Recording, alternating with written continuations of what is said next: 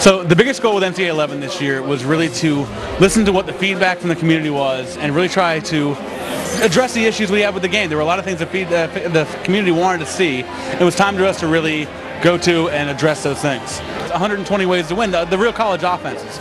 You know, every school runs a different version of an offense. You know, there might be 60 schools that run the spread, but each one runs it a little bit unique, whether it be the spread option, the no huddle, that sort of thing. So we're trying to nail what each school's offense is like. So when you're playing with them, their playbooks are correct, the personnel they use, the formations, when they go no huddle, how they use it, making sure all that's right. So my biggest feature this year would actually be the no huddle offense. Not only because it revolutionized the way you can call no huddle offense, where you have more control over your playbook and you're not kind of stuck in your, you know, pre-canned audibles that we've always had.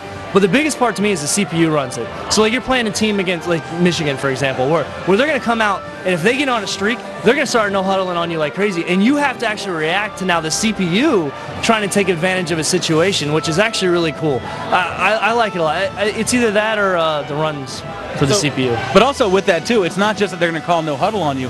It's what they're going to do with the balls in the, ball in their hand when they're playing against you. The CPU running has been improved so much that it doesn't feel like the CPU is running the ball against you. It feels like it feels like it's another human with the moves they're going to make. They're going to try to get a first down rather than try and always go for a touchdown. They're not going to always try and bounce it outside. They're going to cut it up on you and make a spin to try and get that, that those crucial first down yards. It's it's actually it's, it's a really great addition to see. It makes it fresh. I mean, we've been playing the game for years. We know how the CPU plays.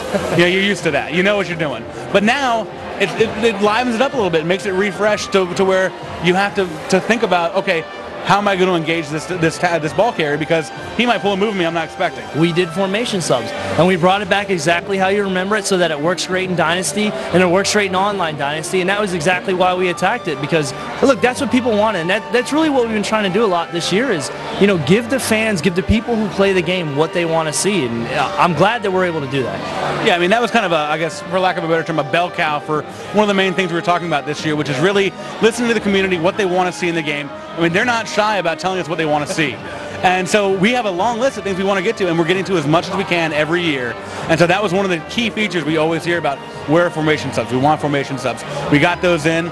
We got new equipment for players. So you're seeing towels, you're seeing knee braces on offensive linemen, you're seeing uh, new things like Alabama with the helmets and the numbers on the side during gameplay. I mean, you always see those during replays, but never during gameplay, and that just looked really strange. So you're not seeing that. So that was really the key this year, and that really was the jumping point for everything you're seeing from locomotion, from 120 ways to win, from the new presentation with ESPN and everything else.